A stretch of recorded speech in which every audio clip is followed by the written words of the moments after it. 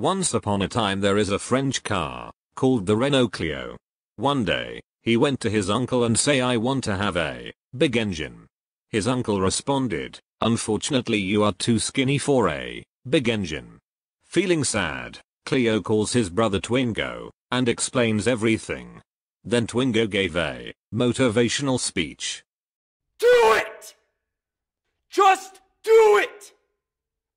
Don't let your dreams be dreams. So just do it! Feeling motivated, he became fat and run towards his uncle. And then